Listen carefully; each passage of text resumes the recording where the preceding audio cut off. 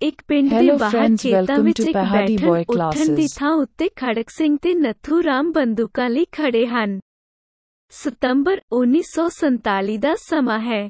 ਵਕਤ ਦੀ ਆਵਾਜ਼ ਮਨੁੱਖ ਦੁਆਰਾ ਪਾਈਆਂ ਵੰਡੀਆਂ ਦੀ ਗੱਲ ਕਰਦੀ ਹੋਈ 1940 ਤੋਂ 47 ਤੱਕ ਵਾਪਰੀਆਂ ਕੁਝ ਘਟਨਾਵਾਂ ਦਾ ਜ਼ਿਕਰ ਕਰਦੀ ਹੈ। ਉਹ 26 ਮਾਰਚ 1940 ਦੀ ਖਬਰ ਸੁਣਾਉਂਦੀ ਹੈ, ਜਿਸ ਵਿੱਚ ਮੁਸਲਿਮ ਲੀਗ ਲਾਹੌਰ ਸੈਸ਼ਨ ਵਿੱਚ ਆਪਣੇ ਬਹੁ ਗਿਣਤੀ ਵਾਲੇ ਇਲਾਕਿਆਂ ਨੂੰ ਆਜ਼ਾਦ ਤੇ ਖੁਦਮੁਖਤਾਰ ਸੂਬੇ ਮੰਨਣ ਦੀ ਮੰਗ ਕਰਦੀ ਹੈ। ਹਿੰਦੂ ਮਹਾਸਭਾ ਮੁਸਲਮਾਨ ਇੱਕ ਕੌਮ ਦਾ ਨਾਰਾ ਲਾਉਣ ਵਾਲਿਆਂ ਨੂੰ ਗਦਰ ਕਰਾਰ ਦਿੰਦੀ ਹੈ। ਕੁਝ ਸਮੇਂ ਮਗਰੋਂ ਮੁਹੰਮਦ ਅਲੀ ਜਿਨ੍ਹਾਂ ਪਾਕਿਸਤਾਨ ਨੂੰ ਮੁਸਲਮਾਨਾਂ ਲਈ ਜ਼ਿੰਦਗੀ, ਮੌਤ ਦਾ ਮਸਲਾ ਦੱਸਦਾ ਹੈ। ਇਹ ਖਬਰਾਂ ਸੁਣ ਕੇ ਨੱਥੂ ਰਾਮ ਕਹਿੰਦਾ ਹੈ ਕਿ ਉਹ ਮੁਸਲਿਆਂ ਨੂੰ ਇੱਕ ਇੰਚ ਧਰਤੀ ਵੀ ਨਹੀਂ ਦੇਣਗੇ। ਇਸ ਪਿੱਛੋਂ ਪੱਛਮੀ ਪੰਜਾਬ ਵਿੱਚ ਫਿਰਕੂ ਦੰਗੇ ਭੜਕਣ ਤੇ ਮੰਦਰਾਂ ਗੁਰਦੁਆਰਿਆਂ ਦੀ ਬੇਅਦਬੀ ਹੋਣ ਦੀਆਂ ਖਬਰਾਂ ਆਉਂਦੀਆਂ ਹਨ।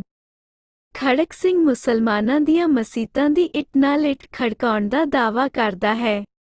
ਮਹਾਤਮਾ ਗਾਂਧੀ ਤੇ ਨਹਿਰੂ ਵੱਲੋਂ ਪਾਕਿਸਤਾਨ ਦੀ ਮੰਗ ਮਨਜ਼ੂਰ ਕਰਨ ਉੱਤੇ ਨੱਥੂ ਰਾਮ ਕਹਿੰਦਾ ਹੈ ਕਿ ਇਹਨਾਂ ਨੇ ਹਿੰਦੂ ਰਾਸ਼ਟਰ ਦਾ ਨੱਕ ਵੱਢ ਦਿੱਤਾ ਹੈ।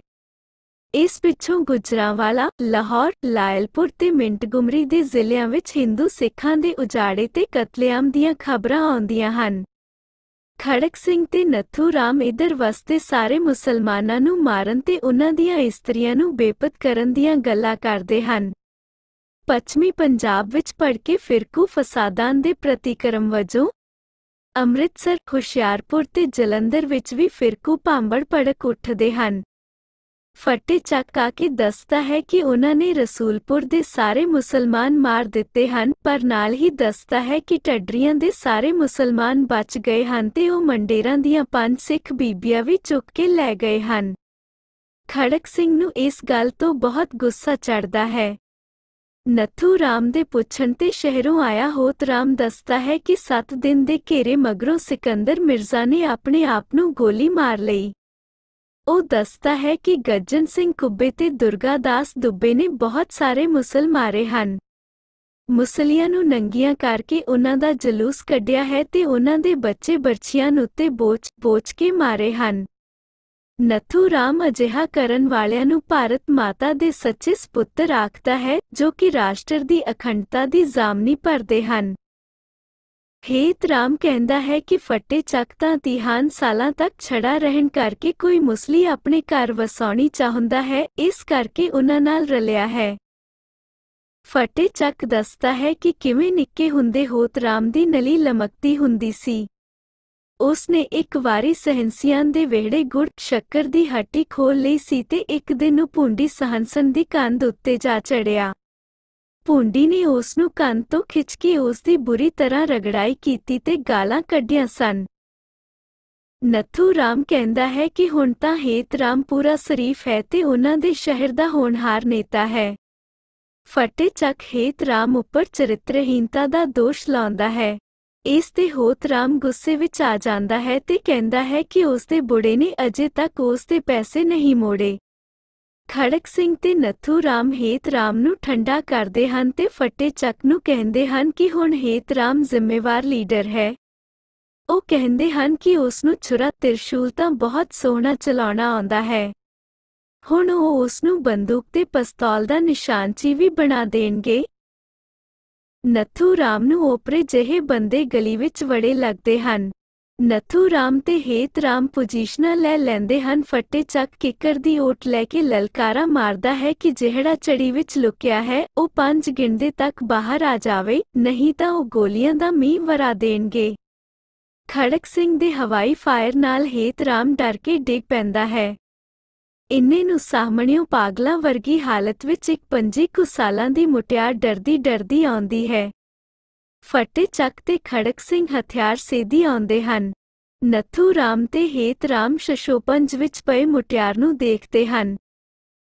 ਖੜਕ ਸਿੰਘ ਮੁਟਿਆਰ ਨੂੰ ਪੁੱਛਦਾ ਹੈ ਕਿ ਉਹ ਕੌਣ ਹੈ, ਤਾਂ ਉਹ ਉੱਤਰ ਦਿੰਦੀ ਹੈ ਕਿ ਉਹ ਉਹਨਾਂ ਵਿੱਚੋਂ ਇੱਕ ਦੀ ਮਾਂ, ਦੂਜੇ ਦੀ ਭੈਣ ਤੇ ਤੀਜੇ ਦੀ ਧੀ ਹੈ। ਉਹ ਦੱਸਦੀ ਹੈ ਕਿ ਉਹ ਮੁਸਲੀ ਹੈ। ਉਹ ਉਹਨਾਂ ਨੂੰ ਮੁਸਲਮਾਨ ਵੀਰ ਕਹਿੰਦੀ ਹੈ। ਖੜਕ। ਉਸ ਨੂੰ ਗਾਲਾਂ ਕੱਢਦਾ ਹੈ।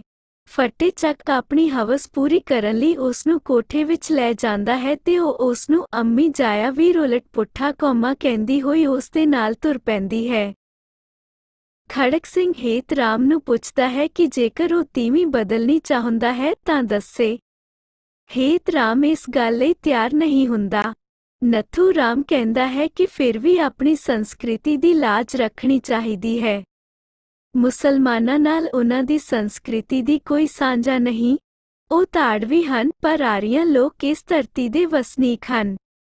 ਇੰਨੇ ਨੂੰ ਫੱਟੇ ਚੱਕ ਘਬਰਾਇਆ ਹੋਇਆ ਆਉਂਦਾ ਹੈ ਤੇ ਕਹਿੰਦਾ ਹੈ ਕਿ ਉਸ ਤੋਂ ਪਾਰ ਹੋ ਗਿਆ ਹੈ, ਉਹ ਸਿੱਖ ਭੈਣ ਦੀ ਇੱਜ਼ਤ ਨੂੰ ਹੱਥ ਪਾ ਬੈਠਾ ਹੈ। ਉਹ ਦੱਸਦਾ ਹੈ ਕਿ ਉਹ ਅੱਖਾਂ ਮੀਟ ਕੇ ਰਹਿਰਾਸ ਦਾ ਪਾਠ ਕਰ ਰਹੀ ਹੈ। ਖੜਕ ਸਿੰਘ ਹੈਰਾਨ ਹੁੰਦਾ ਹੈ। ਉਹ ਨੱਥੂ ਰਾਮ ਨੂੰ ਕਹਿੰਦਾ ਹੈ ਕਿ ਜੇਕਰ ਉਹ ਸਿੱਖ ਪੁੱਤਰੀ ਹੋਈ ਤਾਂ ਉਹ ਉਸ ਦੀ ਇੱਜ਼ਤ ਦੀ ਰਾਖੀ ਕਰਨਗੇ। ਫੱਟੇ ਚੱਕ ਮੁਟਿਆਰ ਨੂੰ ਲੈ ਕੇ ਆਉਂਦਾ ਹੈ। ਖੜਕ ਸਿੰਘ ਜਦੋਂ ਉਸ ਨੂੰ ਰਹਿਰਾਸ ਦਾ ਪਾਠ ਕਰਨ ਬਾਰੇ ਪੁੱਛਦਾ ਹੈ ਤਾਂ ਉਹ ਕਹਿੰਦੀ ਹੈ ਕਿ ਉਹ ਅੱਗੋਂ ਨਹੀਂ ਕਰੇਗੀ। ਉਹ ਉਹਨਾਂ ਨੂੰ ਮੁਸਲਮਾਨ ਵੀਰ ਕਹਿੰਦੀ ਹੋਈ, ਅੱਲਾਹੂ ਅਕਬਰ ਦਾ ਨਾਰਾ ਮਾਰਦੀ ਹੈ। ਖੜਕ ਸਿੰਘ ਕਹਿੰਦਾ ਹੈ ਕਿ ਉਹ ਮੁਸਲੇ ਨਹੀਂ, ਸਗੋਂ ਉਸ ਦੀ ਪੱਤ ਦੇ ਰਾਖੇ ਹਿੰਦੂ, ਸਿੱਖ ਭਰਾ ਹਨ। ਪਰ ਉਹ ਉਹਨਾਂ ਨੂੰ ਵਾਰ-ਵਾਰ ਆਪਣੀ ਇੱਜ਼ਤ ਨਾਲ ਖੇਡਣ ਵਾਲੇ ਰਾਕਸ਼ ਦੇ ਕੁੱਤੇ ਕਹਿੰਦੀ ਹੈ, ਜਿਨ੍ਹਾਂ ਨੇ ਉਸ ਦੇ ਪੁੱਤਰ ਭੋਲੂ ਨੂੰ ਕਤਲ ਕਰ ਦਿੱਤਾ। ਉਹ ਕਹਿੰਦੀ ਹੈ ਕਿ ਉਹ ਉਹਨਾਂ ਨੂੰ ਕੱਚਿਆਂ ਨੂੰ ਖਾ ਜਾਵੇਗੀ।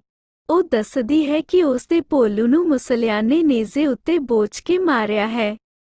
ਖੜਕ ਸਿੰਘ ਸੱਚੇ ਪਾਤਸ਼ਾਹ ਨੂੰ ਯਾਦ ਕਰਦਾ ਹੋਇਆ ਇਸ ਗੱਲ ਦੀ ਮਾਫੀ ਮੰਗਦਾ ਹੈ ਕਿ ਉਹ ਆਪਣੀ ਭੈਣ ਦੀ ਇੱਜ਼ਤ ਦੀ ਰਾਖੀ ਕਰਨ ਦੀ ਥਾਂ ਉਸ ਦਾ ਧਰਮ ਭੰਗ ਕਰ ਬੈਠੇ ਹਨ।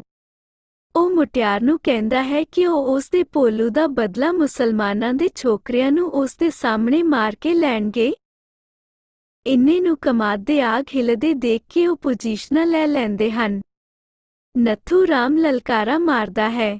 ਇੱਕ ਸਿੱਖ ਬਾਬਾ ਆਉਂਦਾ ਹੈ, ਜੋ ਕਹਿੰਦਾ ਹੈ ਕਿ ਉਹ ਕਮਾਦ ਵਿੱਚ ਪਖਾਨਾ ਕਰਨ ਆਇਆ ਸੀ। ਖੜਕ ਸਿੰਘ ਪਛਾਣ ਲੈਂਦਾ ਹੈ ਕਿ ਇਹ ਗਿਆਨੀ ਜੀ ਮੁਸਲਮਾਨਾਂ ਦੇ ਵੱਡੇ ਹਮਦਰਦ ਹਨ ਤੇ ਉਹਨਾਂ ਨੇ ਆਪਣੇ ਪਿੰਡ ਵਿੱਚ ਇੱਕ ਵੀ ਮੁਸਲਾ ਨਹੀਂ ਮਰਨ ਦਿੱਤਾ। ਸਾਰੇ ਸਹੀ, ਸਲਾਮਤ ਕੈਂਪਾਂ ਵਿੱਚ ਪਹੁੰਚਾ ਦਿੱਤੇ। ਗਿਆਨੀ ਗੁਰਮੁਖ ਸਿੰਘ ਕਹਿੰਦਾ ਹੈ ਕਿ ਉਹ ਭਾਵੇਂ ਉਸ ਉੱਤੇ ਚੋਟ ਕਰ ਰਿਹਾ ਹੈ, ਪਰ ਉਸ ਨੂੰ ਇਸ ਗੱਲ ਦਾ ਮਾਣ ਹੈ ਕਿ ਉਸ ਨੇ ਕਿਸੇ ਮਾਸੂਮ ਦੀ ਜਾਨ ਬਚਾਈ ਹੈ। ਨੱਥੂ ਰਾਮ ਉਸ ਨੂੰ ਪਗਲਾ ਭਗਤ ਤੇ ਬਦਮਾਸ਼ ਕਹਿੰਦਾ ਹੈ ਤੇ ਖੜਕ ਸਿੰਘ ਵੀ ਇਹੋ ਜਿਹੇ ਸ਼ਬਦ ਹੀ ਵਰਤਦਾ ਹੈ। ਉਹ ਕਹਿੰਦਾ ਹੈ ਕਿ ਕਮਾਦ ਵਿੱਚ ਜ਼ਰੂਰ ਉਸ ਨਾਲ ਮੁਸਲੀਆਂ ਹੋਣਗੀਆਂ। ਉਹ ਉਸ ਨੂੰ ਸਿੱਖੀ ਤੋਂ ਬੇਮੁਖ ਆਖਦੇ ਹਨ, ਪਰ ਬਾਬਾ ਉਹਨਾਂ ਨੂੰ ਕਹਿੰਦਾ ਹੈ ਕਿ ਉਹਨਾਂ ਮਨਮੁਖਾਨ ਨੇ ਹੈਵਾਨੀ ਕੰਮ ਕਰਕੇ ਸਿੱਖੀ ਨੂੰ ਬਦਨਾਮ ਕੀਤਾ ਹੈ। ਇੰਨੇ ਨੂੰ ਇੱਕ ਵੀਹਾਂ ਕੁ ਸਾਲਾਂ ਦਾ ਗੂੰਗਾ ਆਉਂਦਾ ਹੈ। ਉਹ ਆਪਣੀ ਬੋਲੀ ਵਿੱਚ ਗੁਰਮੁਖ ਸਿੰਘ ਨੂੰ ਕਹਿੰਦਾ ਜਾਪਦਾ ਹੈ ਕਿ ਉਹ ਉਹਨਾਂ ਨੂੰ ਕਮਾਦ ਵਿੱਚ ਛੱਡ ਕੇ ਆਪ ਉੱਥੇ ਕਿਉਂ ਖੜਾ ਹੈ? ਉਹ ਖੜਕ ਸਿੰਘ ਹੋਰਾਂ ਅੱਗੇ ਹੱਥ ਜੋੜ ਕੇ ਕਹਿੰਦਾ ਜਾਪਦਾ ਹੈ ਕਿ ਉਹ ਉਸ ਨੂੰ ਨਾ ਮਾਰਨ। ਨੱਥੂ ਰਾਮ ਉਸ ਦੇ ਧਰਮ ਬਾਰੇ ਪੁੱਛਦਾ ਹੈ। ਗੁਰਮੁਖ ਸਿੰਘ ਦੱਸਦਾ ਹੈ ਕਿ ਉਹ ਹਿੰਦੂ ਨੌਜਵਾਨ ਤੇ ਮੁਸਲਿਮ ਮੁਟਿਆਰ ਦੇ ਪਿਆਰ ਵਿਆਹ ਵਿੱਚੋਂ ਪੈਦਾ ਹੋਇਆ ਹੈ। ਗੁਰਮੁਖ ਸਿੰਘ ਅਨੁਸਾਰ ਉਹ ਇਹ ਪੁੱਛਦਾ ਹੈ ਕਿ ਉਸ ਦਾ ਧਰਮ ਕੀ ਹੈ? ਇਸ ਪਿੱਛੋਂ ਗੁੰਗਾ ਅੰਗੂਠਾ ਦਿਖਾਉਂਦਾ ਹੋਇਆ ਦੌੜ ਜਾਂਦਾ ਹੈ। ਇੰਨੇ ਨੂੰ ਇੱਕ ਬੱਚੇ ਦੇ ਰੋਣ ਦੀ ਆਵਾਜ਼ ਆਉਂਦੀ ਹੈ। ਅੰਬੋ ਨਾਂ ਦੀ ਇੱਕ ਇਸਤਰੀ ਦਾ ਨਾਂ ਲੈ ਕੇ ਪੁੱਛਦਾ ਹੈ ਕਿ ਬਾਬਾ ਉਹਨਾਂ ਨੂੰ ਇਕੱਲਿਆਂ ਛੱਡ ਕੇ ਕਿੱਥੇ ਗਿਆ ਹੈ। ਗੁਰਮੁਖ ਸਿੰਘ ਜਾਣ ਲੱਗਦਾ ਹੈ, ਪਰ ਖੜਕ ਸਿੰਘ ਗੋਲੀ ਮਾਰਨ ਦੀ ਧਮਕੀ ਦੇ ਕੇ ਉਸ ਨੂੰ ਰੋਕ ਲੈਂਦਾ ਹੈ। ਉਹ ਗੁਰਮੁਖ ਸਿੰਘ ਨੂੰ ਗਾਲਾਂ ਕੱਢਦਾ ਹੋਇਆ ਕਹਿੰਦਾ ਹੈ ਕਿ ਉਸ ਨੂੰ ਉਸ ਦੀ ਕਰਤੂਤ ਦਾ ਪਤਾ ਲੱਗ ਗਿਆ ਹੈ। ਗੁਰਮੁਖ ਸਿੰਘ ਉਹਨਾਂ ਨੂੰ ਅੰਨੇ ਸ਼ਿਕਾਰੀ ਕਹਿੰਦਾ ਹੈ, ਜਿਹੜੇ ਨਿਸ਼ਾਨੇ ਹਮੇਸ਼ਾ ਗਲਤ ਲਾਉਂਦੇ ਹਨ। ਇੰਨੇ ਨੂੰ ਫੱਟੇ ਚੱਕ ਤੇ ਹੇਤ ਰਾਮ ਇੱਕ ਬੱਚੇ ਤੇ ਇੱਕ ਬੁੱਤ ਜਿਹਾ ਬਣੀ ਬੁੱਢੀ ਮਾਈ ਨੂੰ ਲੈ ਕੇ ਆਉਂਦੇ ਹਨ। ਹੋਤ ਰਾਮ ਬੁੱਢੀ ਨੂੰ ਥੜ੍ਹੇ ਉੱਪਰ ਬਿਠਾ ਦਿੰਦਾ ਹੈ। ਡਰਿਆ ਹੋਇਆ ਬੱਚਾ ਭੱਜ ਕੇ ਗੁਰਮੁਖ ਸਿੰਘ ਨੂੰ ਚਿੰਬੜ ਜਾਂਦਾ ਹੈ। ਖੜਕ ਸਿੰਘ ਸਮਝਦਾ ਹੈ ਕਿ ਕਮਾਦ ਵਿੱਚ ਹੋਰ ਬੰਦੇ ਵੀ ਹੋਣਗੇ, ਉਹ ਫੱਟੇ ਚੱਕ ਤੇ ਹੇਤ ਰਾਮ ਨੂੰ ਉਧਰ ਭੇਜਦਾ ਹੈ। ਪਾਗਲ ਮੁਟਿਆਰ ਬੁੱਢੀ ਦਾ ਹੱਥ ਲੱਗਣ ਨਾਲ ਜਾਗ ਪੈਂਦੀ ਹੈ। ਉਹ ਬੱਚੇ ਨੂੰ ਦੇਖ ਕੇ ਉਸ ਨੂੰ ਆਪਣਾ ਭਲਾ ਕਹਿ ਕੇ ਪਿਆਰ ਕਰਦੀ ਹੈ ਤੇ ਕਹਿੰਦੀ ਹੈ ਕਿ ਉਹ ਗੱਬਰ ਹੋ ਗਿਆ ਹੈ। ਉਹ ਕਹਿੰਦੀ ਹੈ ਕਿ ਉਸ ਦਾ ਪੁੱਤਰ ਸੱਚੇ ਪਾਤਸ਼ਾਹ ਨੇ ਫਿਰ ਜਿਉਂਦਾ ਕਰ ਦਿੱਤਾ ਹੈ। ਉਸ ਦੀਆਂ ਗੱਲਾਂ ਤੋਂ ਗੁਰਮੁਖ ਸਿੰਘ ਨੂੰ ਪਤਾ ਲੱਗਦਾ ਹੈ ਕਿ ਉਹ ਗਿਆਨੀ ਧਰਮ ਸਿੰਘ ਬਿਸ਼ਨਪੁਰੀਏ ਦੀ ਧੀ ਹੈ ਤੇ ਉਹ ਮੰਡੇਰੀ ਵਿਆਹੀ ਹੋਈ ਸੀ। ਉਹ ਹੈਰਾਨ ਹੋ ਰਹੀ ਸੀ ਕਿ ਐਡੇ ਧਰਮੀ ਬਾਪ ਦੀ ਧੀ ਨਾਲ ਇਸ ਤਰ੍ਹਾਂ ਕਿਉਂ ਹੋਈ ਹੈ ਗੁਰਮੁਖ ਸਿੰਘ ਕਹਿੰਦਾ ਹੈ ਕਿ ਉਹ ਇਸ ਗੱਲ ਦਾ ਜਵਾਬ ਨਹੀਂ ਦੇ ਸਕਦਾ ਇਹ ਗਹੀ ਗੁਰੂ ਨਾਨਕ ਨੇ ਰੱਬ ਨੂੰ ਪੁੱਛੀ ਸੀ ਖੜਕ ਸਿੰਘ ਬੁੱਢੀ ਨੂੰ ਉਸ ਦੇ ਧਰਮ ਬਾਰੇ ਪੁੱਛਦਾ ਹੈ ਪਰ ਉਹ ਚੁੱਪ ਰਹਿੰਦੀ ਹੈ ਗੁਰਮੁਖ ਸਿੰਘ ਕਹਿੰਦਾ ਹੈ ਕਿ ਉਹ ਰੱਬ ਨਾਲ ਰੁੱਸ ਗਈ ਹੈ ਕਿਉਂਕਿ ਧਰਮ ਦੇ ਰਾਖਿਆ ਨੇ ਉਸ ਦਾ ਸਾਰਾ ਪਰਿਵਾਰ ਜਿਉਂਦਾ ਸਾੜ ਦਿੱਤਾ ਇਸ ਘਟਨਾ ਨਾਲ ਉਹ ਸੈਲ ਪੱਥਰ ਹੋ ਗਈ ਹੈ।